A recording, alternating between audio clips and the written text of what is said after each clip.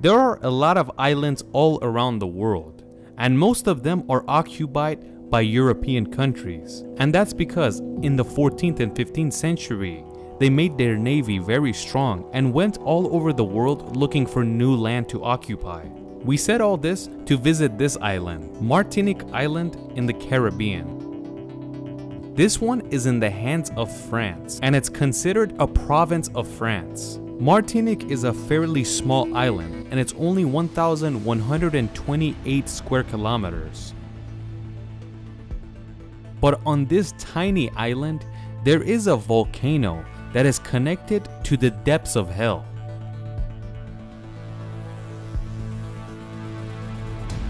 The name of this volcano is called Mount Pele, but not the Pelé we all know and love. This island has been in the hands of France for about 400 years, an extremely beautiful place that was named the Paris of the Caribbean.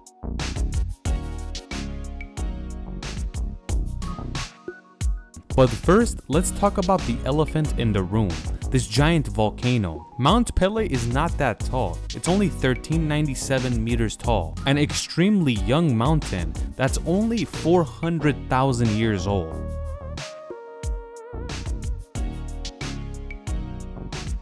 So it started to grow 400,000 years ago, and the more lava that came out, the island got bigger, and the mountain also grew in size. So in the future, this is slowly gonna get bigger and bigger. This is a very interesting place, right? A beautiful island, beautiful weather, it's almost perfect. But you already know what the main problem is, a ticking time bomb. From the beginning of the history, this is how it went. There were natives that lived here. Then the Spanish came. Then the French come and kick out the Spanish and take over the island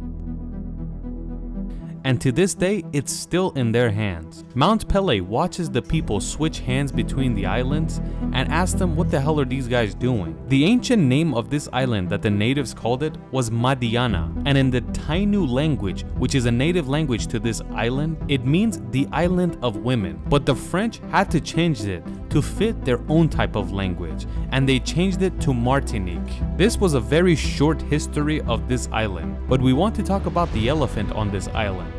Mount Pelée.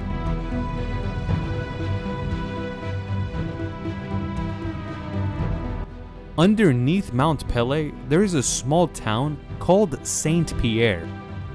Calling this little town unlucky is an understatement, because in the near history, a lot of terrible things have happened here. Like for example, in the year 1780, a terrible storm formed in the Caribbean Sea, and it hit this island so hard that it took 9,000 people of St. Pierre into the ocean, and every single one of them died. And that means the majority of the population died. Since the town got destroyed, the French decide to rebuild this place in the form of Paris and make it the Paris of the Caribbean. At the end of the 19th century, the small town of Saint Pierre is looking really good. There's a lot of people living there, and a lot of tourists come visit. And you could say about 30,000 people live in this town. But these 30,000 people don't realize what they're sitting next to. Time slowly passes, and we finally reach the 20th century. Exactly the year 1902. On April 23, 1902, after centuries of sleeping, Mount Pele finally wakes up.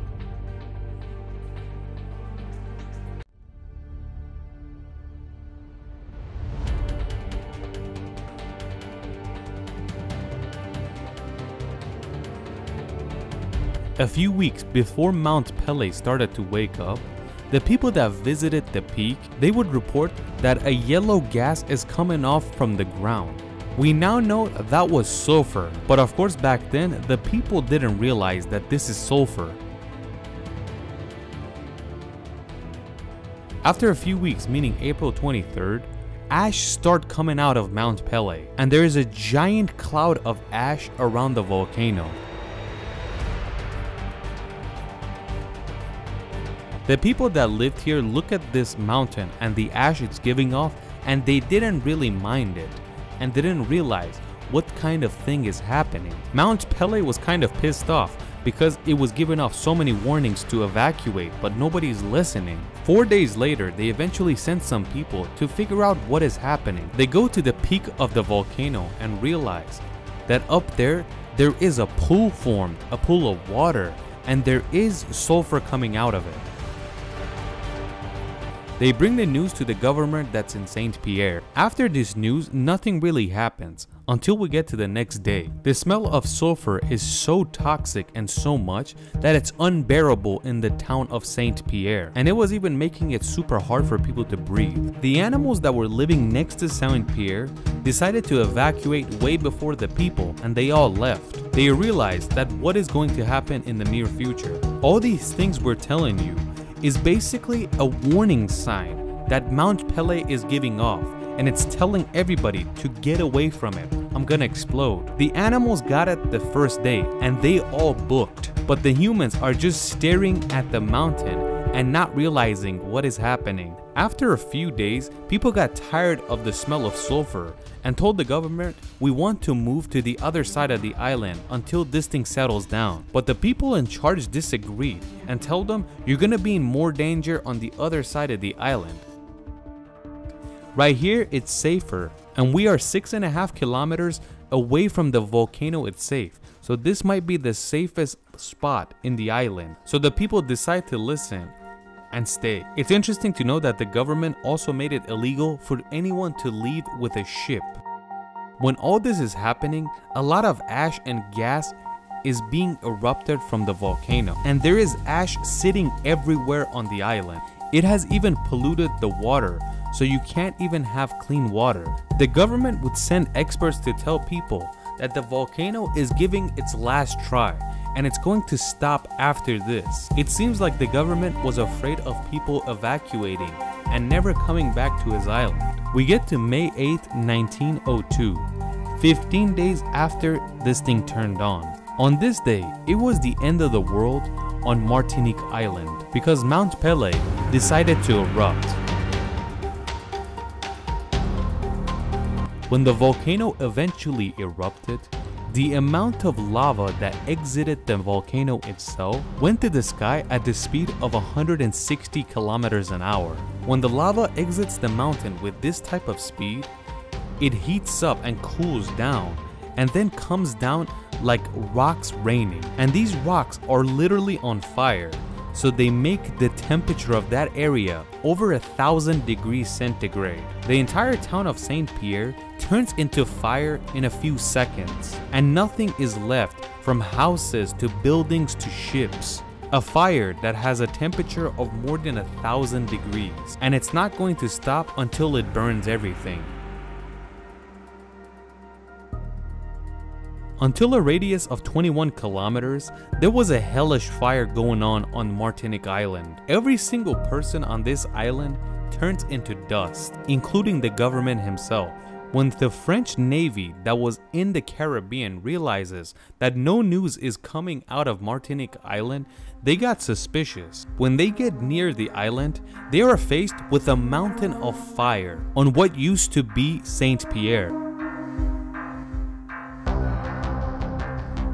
It's so hot in that area that the French Navy is forced to stay back and just watch, because if they get closer, they will burn as well.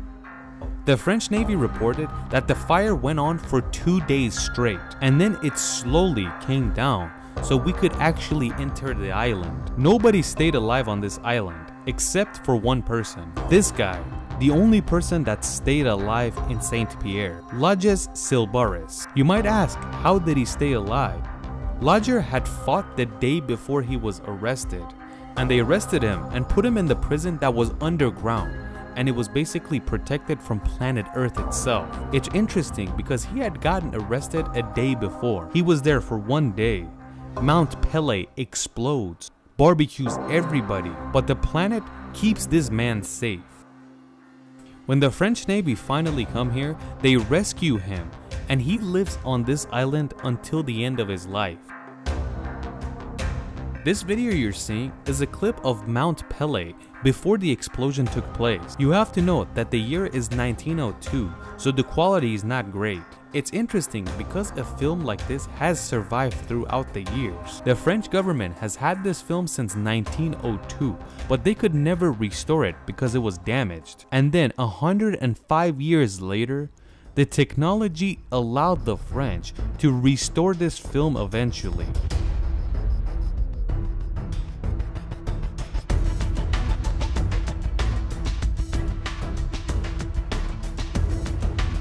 One man stayed alive around this volcano, but eventually, more and more people moved back to the island again.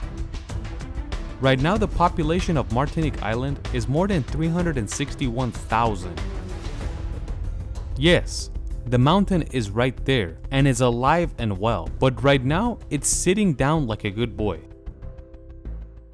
The last time it erupted before 1902, it had been centuries, but they don't know exactly when it was. And we don't know when it's gonna erupt next. Let's just hope it just stays there and doesn't do anything bad.